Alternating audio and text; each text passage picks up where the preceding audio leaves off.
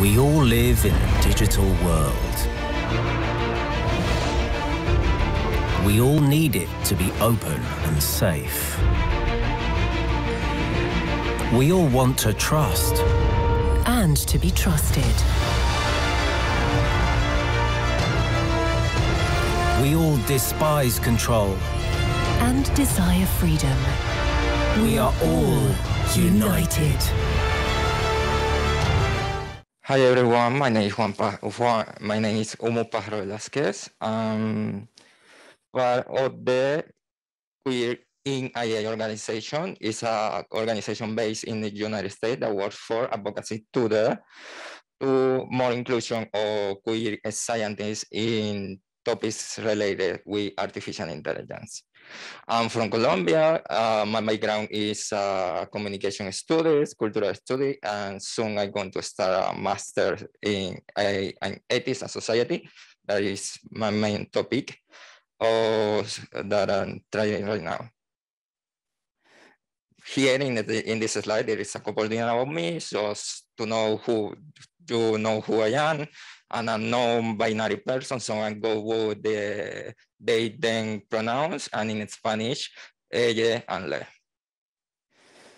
Um, as in every Queer AI event, we have certain codes code of conduct that we like people to follow because we like the people, everyone feel, must be feel safe in these spaces.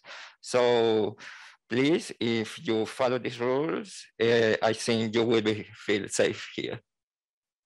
So please stick to that, please. so something about Queer in IA is a volunteer organization until now. It's part of STINE, that is an organization that works for, for advocacy uh, in, in, including queer scientists or queer people in, in science, uh, in STEM careers. It's based in the United States. Uh, Queer in IA started during NeurIPS, that is a conference that occurs every year that is about the neurological uh, networks related with artificial intelligence was starting in 2017 at the result of a meetup. And we realized in that moment that we need more representation and open more space for queer people in this field. Uh, our mission is to raise awareness of queer issues in artificial intelligence and machine learning, foster a community of queer researchers, and celebrate the work of queer and trans scientists. What we're doing right now is very much work, workshops and social, uh, most AI, uh, machine learning and neurolinguistic process conference. Um, this is the first non-related AI conference that we are. So it's like, like the our next goal to be participating more in non-related AI conference because we think that we can reach more people in that way and may know what we are doing right now. We or file for investigation that are, we are developing in this moment. Um, but uh, one of the investigation is the result of this uh, of, of, oh, it isn't change there. Is it the result of the demographic survey? The demographic survey is uh, it was made to identify and uh, identify queer communities and check the future of the programs that we're going to develop in the queer in NIA. And we, found, uh, we found that 30% of non-cis or non-cis folk, cis refer to gender identified correspond with the sex assigned by birth. Uh, 20.5% of the people are black or people of color. 10% uh, mentioned that they have disability. 5% they say they are graduate students and 20% uh, share their names. I don't know what is not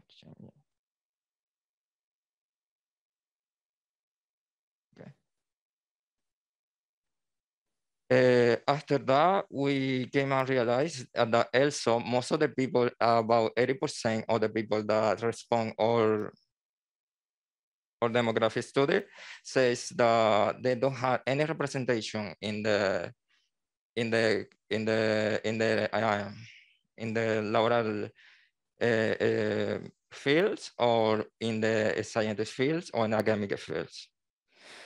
Now I'm going to explain exactly what I, what we going what we are going to share what what I wanted to share today. That is one of the other investigation that we call AI versus Our Bodies. This project came out from from the question that is uh, from the pandemic times when we realized that some queer folks were uh, seeing that the posts on social media were blocked so we start a question about content moderation tools and how these content moderation tools affect uh, queer people and why this content moderation tool affect queer people and women. So uh, during our, our first stage of investigation, we see that this platform pretty doesn't have many regulations when it comes to content moderation tools.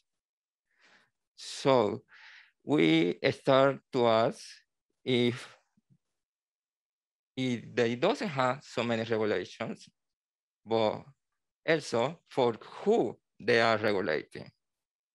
And that's when we realize that they actually, these social media platforms are not regulating for women and gender diverse people. They are mainly, they're mainly regulating for male, white, cis persons. The, they're only regulating for them. So this is excluding gender diversity and women. From that moment, we started to think what we can do about it. What we can, what we had to do to change, to change that.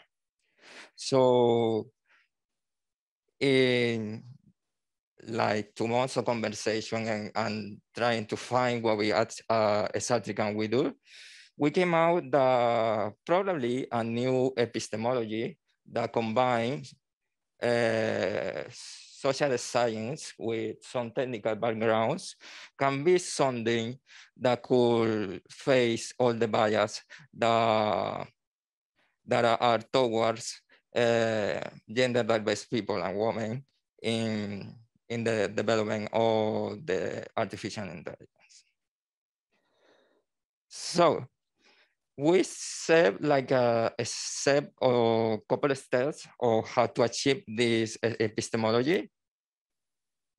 Uh, the epistemology is we say like the, the most important thing is to gain trust in this artificial intelligence because we need to trust that the bias is going to be le the less as possible. So we go, we verify, we, we we decide that verification, monitor, monitoring, and advocacy are the three main points to gain trust that the, uh, to gain trust and uh, on these kind of technologies, especially when we are going to talk uh, about gender diversity and women. Uh, also, we came up with the participatory design, uh, not only include here in the, in the design part uh, technicals also include social scientists and especially people that are, identify themselves as gender diverse and, and trans and women because it's totally necessary that from the, the design stage, we start to think how these artificial intelligence are going to look. The third uh, point that we think about is was most like a, a gender approach. The, we say that the more theoretical part of the of this of this kind of solution of querying the IA that we call it. So we try to think and we realize that pretty much the way that we know the world is based in a science that is produced, um, made and developed by men. And so uh, everything, everything that is hard is understanding as science and everything that is soft is not understanding as science and, and also is compared to female. So we letting, letting out from the development of the different artificial intelligence, the soft part that also should be included in this kind of, of, of technologies. And that is when we, let's say in a really risky way, decide to collect a queer epistemology for artificial intelligence. And we envision this queer epistemology for artificial intelligence like a trans theoretical analysis where we uh, combine uh, decolonized theories, queer theories, uh, machine learning, machine learning theories, and uh, uh, yeah, neurolinguistic processing. We between those four things, we decide that could be uh, the way to resolve some bias towards uh, uh, gender diverse and, and women. Also, within the transsectoral communication, that means not only the people that are technical to be the ones that are doing these things, also social scientists must be part of this process and should communicate with the technical part what, how this technology should be developed because the, uh, the, this technology has impact in the real life. We have to admit that and people is affected by that. We see it uh, every day, especially right now with the with the face recognition, especially for trans people. Uh, there is some cases or some examples pretty much everywhere in the world. In India, for example, during the pandemic, uh, some trans person couldn't access to to to health to healthcare because the software or the recognition, the recognition face software actually identify as the opposite says that it says in the in the ID card. So that is a problem that we need to face. So we think also that the three, uh, besides constructing trust with verification, monitoring, monitoring and advocacy, we need to think this from the design stage, development stage, and implementation stage we need to be doing this all the time because bias are always going to appear. If we want to achieve a better technology, we need to be constantly monitoring and constantly addressing those bias. And finally, uh, this is more related to artificial intelligence governance within the, the model of multi-stakeholderism uh, could be a really good solution to address uh, the, the problems of having bias towards gender diverse people and women. And that was pretty much it, the lightning talk. If you have any question about it or want, want to make some comment, well, I'm here to hear all of you.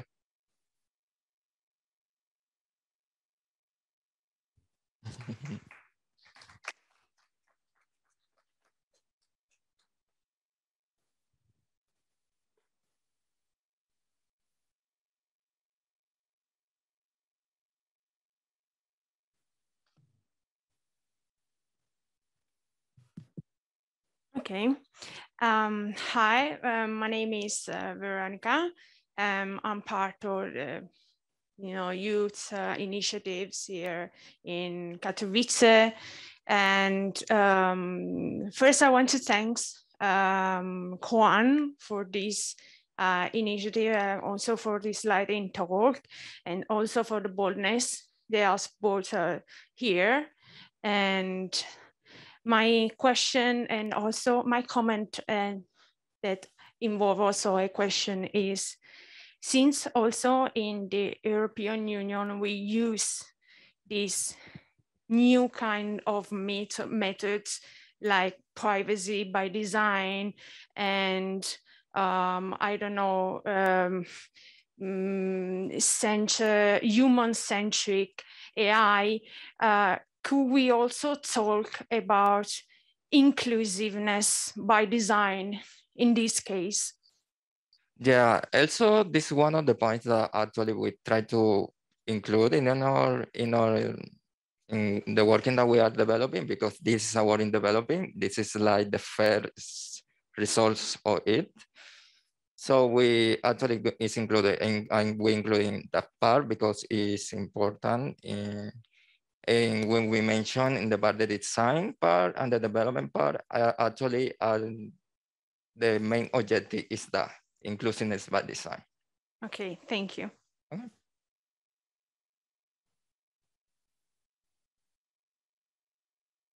Hey, uh, my name is Karolina. I'm Polish. And my question is, as I understood, uh, you are a non-profit organization, so that uh, are there any data scientist or uh, developer of the AI in your organization so that you could also develop the tool that you could be satisfied? And in case you find some system that it's uh, totally disappointed for your values, you could uh, compare with something that you develop and show, for example, in case of the um, some disagreement that there is some solution that you could accept and that's better or i mean better or at least some uh, other way of solving such uh, confusions that could arise and anyway they will uh, arise at some point. Yes. Dance that you mentioned that we actually develop uh, right now also uh, we actually developing like a tool for name changing with the, the quotation systems because when you are trans and you change your name, uh, it's really hard that some scholars in this actually change your name really fast. So we are trying, uh, we are conducting right now like an experiment to know how fast this scholar scholar index change your name when you say, when you make a petition to change your name to them. So we are developing that tool right now. So it's one of the solutions that we are making.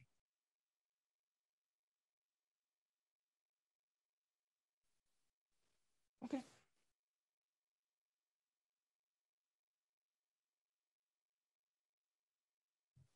Hi there, it's uh, Michael, New Science Technology Agency, London. Um, quick question on what you mentioned. Would you then consider that from the policymakers' point of view, would that be beneficial to introduce to pretty much all AI related products um, a system that could continuously uh, update the well obviously the machine learning on the on the on the face recognition as a whole and that would solve the problem hopefully for everybody mm. that's a that's a really hard uh, approach because i don't see for for if you ask me, I don't think the uh, facial recognition is a technology that we should use because there's always going to to have bias towards gender diverse people. Okay. Even we can Im embed data to them, there's always going to be bias. Okay, but the question is because at the moment, in the current state of the pandemic where we are at the moment, right? We're yeah. trying to get away from being approached and have to touch something, you know, with a with a papillary or whatever. So we're trying to do and use the face recognition I know. as a as a very efficient, in general, a very efficient method. But what what from point of view you consider uh, as an NGO you could you could you could come with um, to to take take and tell the policymakers what would you expect them to implement as, as the AI strategy for the country to actually include. So is it a continuous learning that you use, I don't know, every now and then your phone to take a snapshot of yours, it's uploaded. Maybe, you know, I'm, I'm, I'm, coming, I'm, I'm, I'm talking very broadly here, but where we are at the moment, from my understanding in the AI universum, is really that we are designing the policies for the countries. Yeah. So this is the time when you want to say about trying to avoid the transgender, you know, inequality by trying to make the policymakers actually implement a system in place for them to be able to update your legal documents or your legal records by using the technology that is at the same time supporting um, the uh, the reduction in the pandemic spread. It's just basically that what I'm what I'm trying to say. So maybe the outcome from this should be that you know maybe there should be a document that will trying to help them to understand what the issue is and how to make sure that even if people get older and older, you know, you need to update your documents anyway. So, you know, obviously my grandma looks now different than she used to look 40 years ago since she had last time her picture taken. So I'm, I'm just, I'm just coming from this point of view, you know, from this standpoint. Yeah.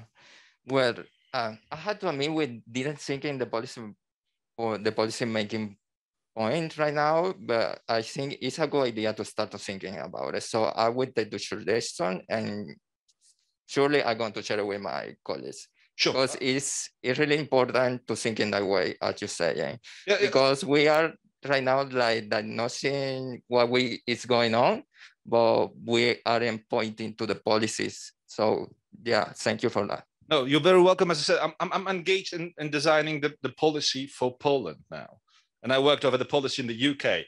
So it's it's a crucial thing. Yeah. And I think it was overlooked in the UK.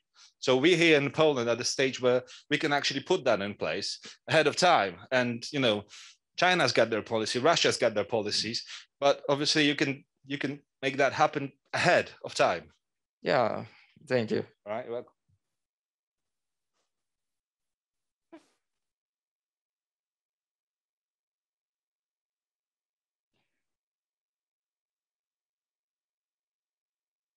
Uh, hello, my name is Emilia. I am here uh, as the part of the Project Youth Summit.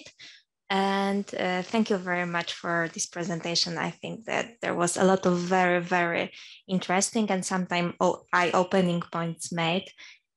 So uh, I would like to ask you because uh, recently uh, one person told me about the situation because when you are born here in Poland, you got the PESEL number, it is assigned to you and one number in this number indicates uh, the gender uh, that was assigned to you when you were born.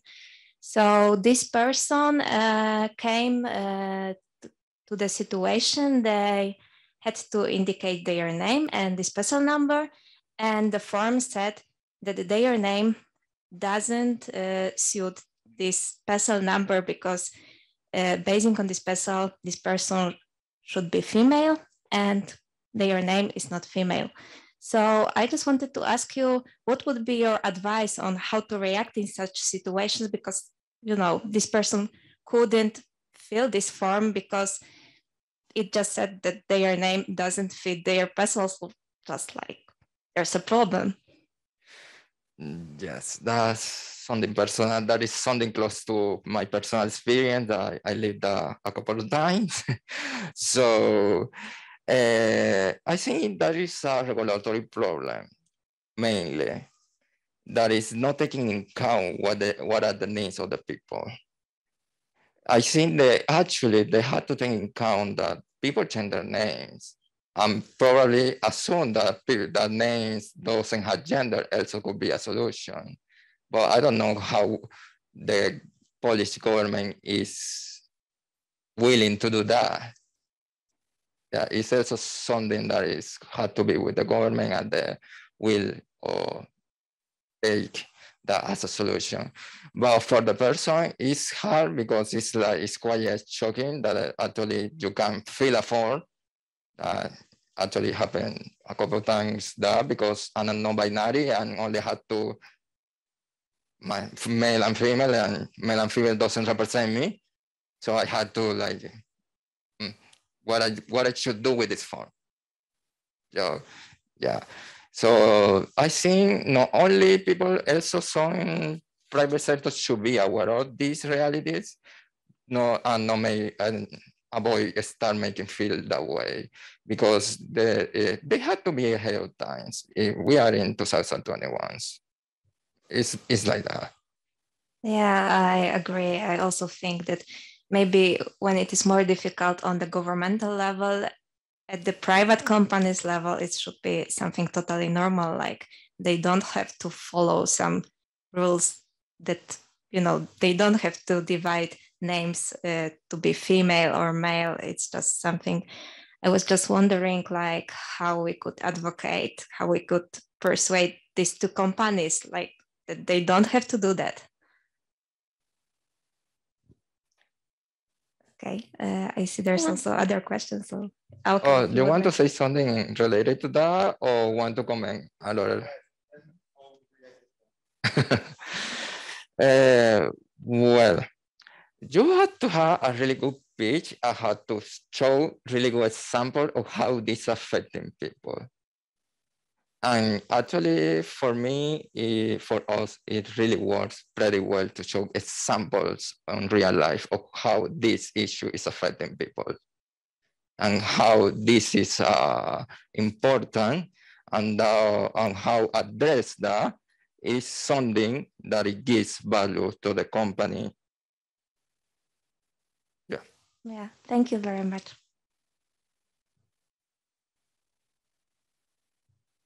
Thank you very much. My name is Auke. Uh, I'm working at KPMG as consultant AI and trusted analytics.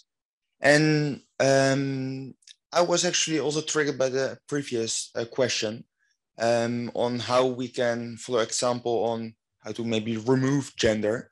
Uh, in the Netherlands, Dutch ID cards in five within now in five years time will have no gender uh, on the ID card anymore because in some cases it's just irrelevant. Um, and I think um, more countries and companies should follow the example of really having a close look what information should we collect, what information should we process, and also implement into those uh, AI models. And in you know, do we need uh, gender in our training data? That should be a question. Um, because for for some and actually quite a lot of purposes, you don't need that. Um, so I hope um, other countries and companies are following example uh, and try to, uh, yeah, prevent this bias. Thank you very much. Thank you. Uh, I think we have a question on the on online. Aileen, please go ahead. Thank you very much, Pájaro. Uh, just a quick comment. Uh, I think your research about AI is very interesting, and I agree that software implemented during the pandemic related to health affected deeply human rights, especially for gender diverse people. And adding to Veronica's comments, uh, it's important that we should uh, have um, um, draft and, and think about um, these different policies from the beginning to be human-centric. Um, so in this way, we consider from the very beginning uh, the gender diverse people and not as a last uh, minute fix when policymakers discover that they are affecting these communities. And uh, yeah, finally, I would also like to thank you for bringing this important conversation to Poland and the IGF 2021. Thank you very much. Thank you. Um, one next, go and really fast because we only have one minute. Okay, hello. Uh, thank you, Juan, for your presentation. Uh, I, my name is Ron. I am uh, cybersecurity analyst. So I understand that AI is a tool to extract data patterns. And you said that when doing facial recognition, the bias uh, it is it makes these the trends uh, readings very very inaccurate. And so I think this is a, a a pattern of the technology because the the borderline case is that the the AI is is built to find patterns and if you and in the cases that the patterns are not so clear to the technology it will be wrong so i think this actually happened in a lot of other uh, applications of AI. So how can you choose like what wait ai to these kind of situations doesn't matter like how to distinguish between the things that can be used can use ai and things that cannot Actually, you have to ask to the people that is affected by AI. okay That's- yeah, uh, the main idea is that i am asking to you yeah. to you Yeah, to I, I thinking, but what we are doing, like, our investigation shows that actually most of the people that is uh, affected by AI are trans people.